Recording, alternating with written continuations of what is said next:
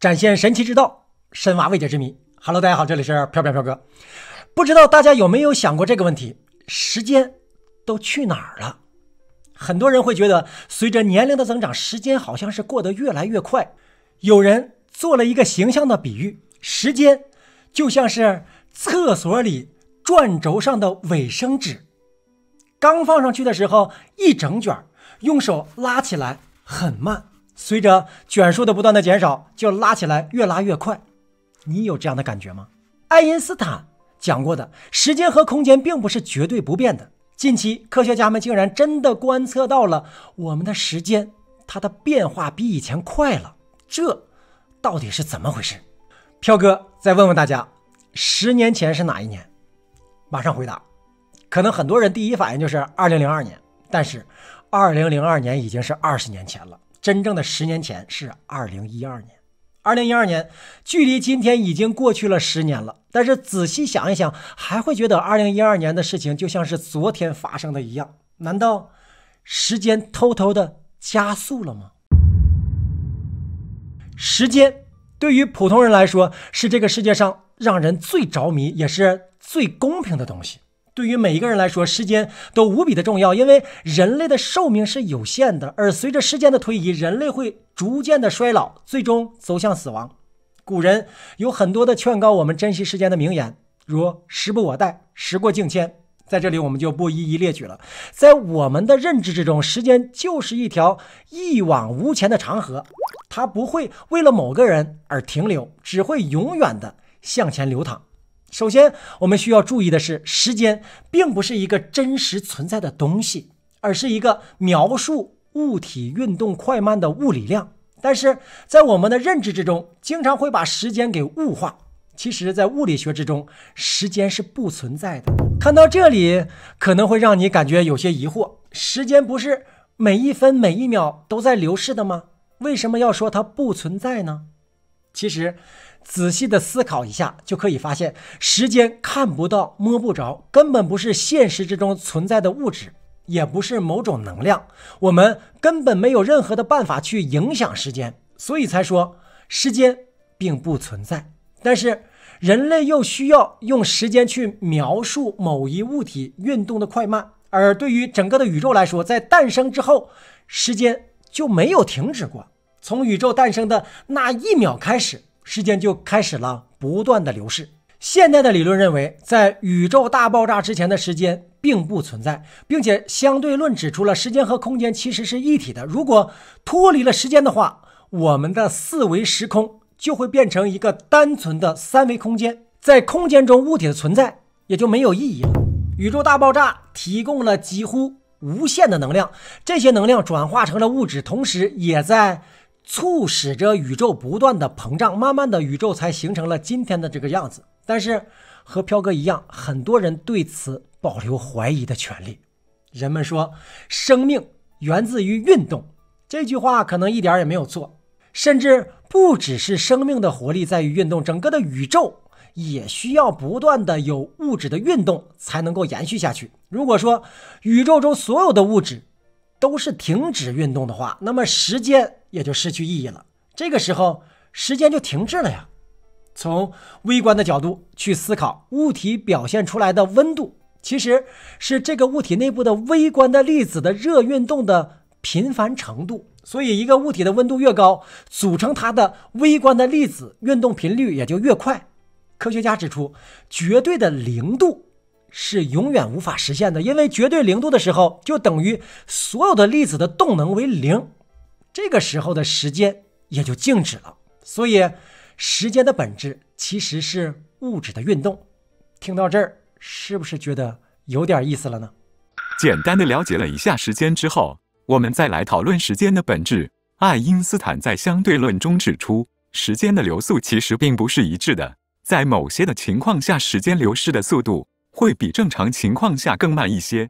这种时间慢下来，被我们称为是时间膨胀，或者是叫中慢效应，是一个已经被科学证实的现象。现代的科学证实，在某些情况之下，时间的速度是不一致的。比如说，当一个物体在运动的速度越快，它经历的时间就会越慢。不过，大部分情况下，我们都感受不到时间流速产生的差异，因为只有在物体的速度接近于光速的时候，时间的流速的差异才会显现出来，最少也要达到十分之一的光速的量级，时间的流速才会明显。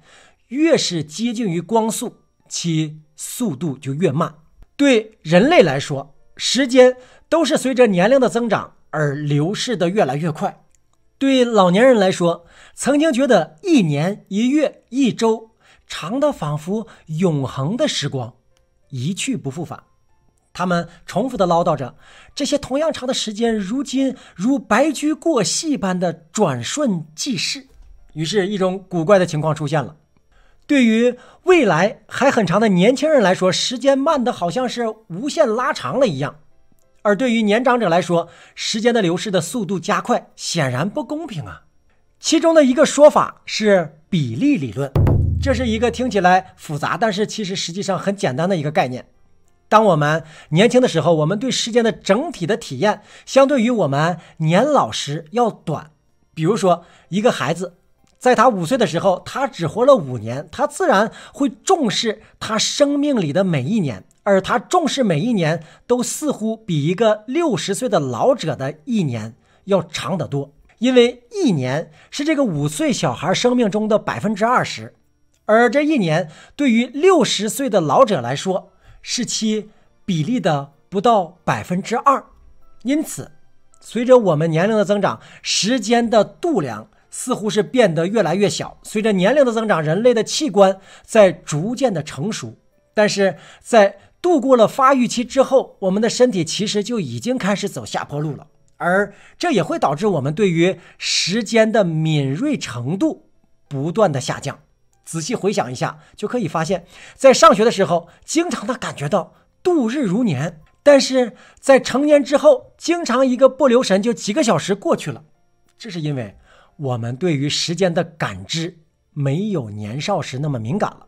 这也许可以解释为什么两周的假期对于成年人来说如同飞逝，但是对于小孩来说却包含着无限可能的无限时间。其实，这里很容易出现另外一种脑洞，就是结合着前面咱们所说的微观粒子热运动的原理，那么深究一下，感觉是如何来的呢？是否是自身组成的细胞的原子比原子还小的质子、中子、电子？以及组成它们的弦理论的弦的振动，随着年龄的增长而变慢了呢？于是才产生了衰老，反应变慢，感觉和直觉都会变慢，于是就体现在时间飞逝和感觉不到了。Oh my god，嗷嗷狠！